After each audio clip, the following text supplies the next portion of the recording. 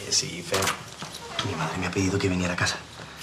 Imagina que me quiere pedir perdón o algo por cómo me ha tratado. Luego te cuento.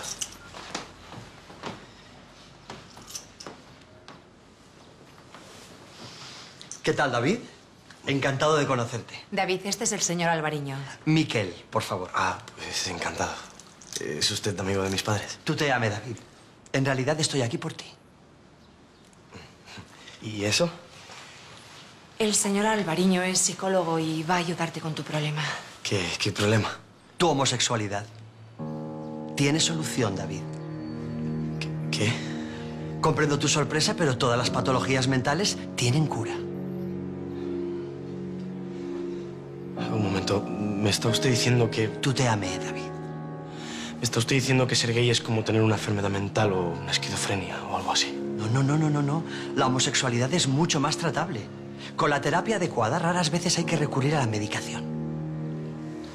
¿Me estáis llamando enfermo?